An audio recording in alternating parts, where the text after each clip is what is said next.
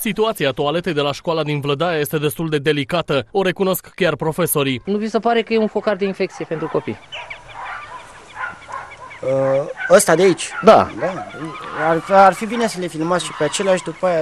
Nu mai mi se pare mie nici cum. Da, Se- da, da. Situația vorbește de la sine. În unitatea de învățământ s-au investit sume importante pentru refacerea grupurilor sanitare, dar sunt nefuncționale. Nu este pompă băgată în ea. Și de când e așa? De 2 ani, 2 ani. 2009, vară. 2009. Și de ce n-au băgat pompă în ea? Nu au fonduri. La toaleta de la școală nu merg doar elevii, ci orice trecător. Vin la fântână, e lumea care trece prin curtea școlii Și vin la WC? și vin la veceu, da. De ce?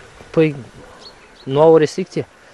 Păi dacă e, școala este negrădită, neprejmuită, nu avem gard. S-a forat un puț în apropiere, la adâncime de 160 de metri, cu apă perfectă, apă plată, însă nu s-a finalizat nici aici lucrarea, nu s-a făcut racordul între puț și grup sanitar ca acesta să poată funcționa.